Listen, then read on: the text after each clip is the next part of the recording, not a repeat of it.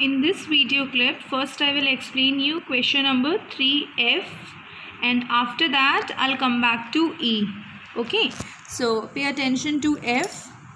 It is written here consider a six digit number 7 lakh 99,835 this number if you increase it by 35,768 this number when you increase it by. What is the meaning of increase? To make it more. To add. All these things means increase. Okay? What will be the new six digit number? It is saying that in this number when you add this number what new number you will get?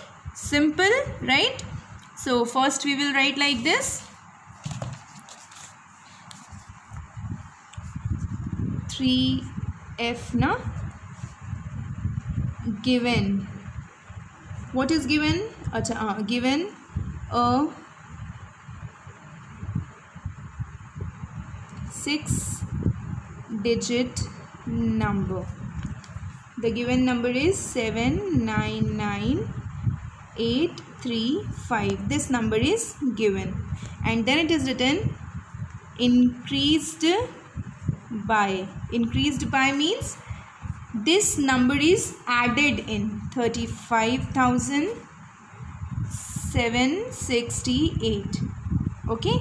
Then what is the new number you will get? So new six digit number equal to we will add both the numbers. That is 799835 plus 35768 okay?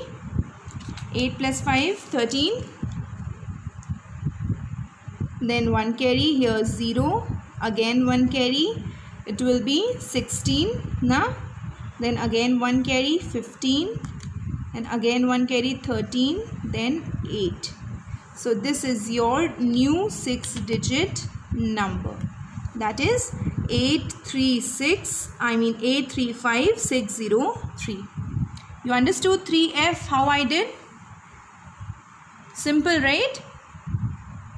It is written 6 digit number is given. You can see 799835 this number is given. It is written that number is increased by.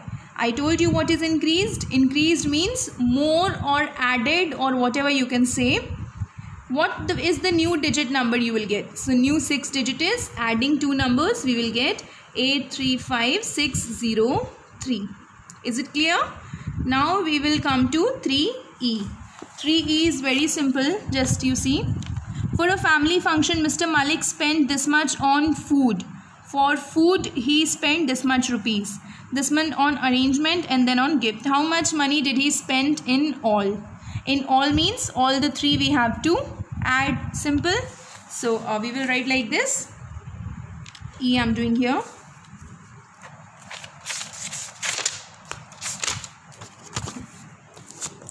So um, for a family function how much money he spent? So first of all uh, on food he spent 275600 then arrangement and decoration. Arrangement and decoration. How much money he spent? That is 125750 then uh, on gifts how much? 96275 okay this much money he spent. Then it is written uh, how much did Mr. Malik spend for the function? For the function means total money spent. So total equal all the three numbers you add. Okay so here is the blueprint for question number 3e you may write it in fair and then you solve it. This was your question number 3f okay this was your 3f and this is your 3e which is incomplete. You have to write in fair and then you have to solve it completely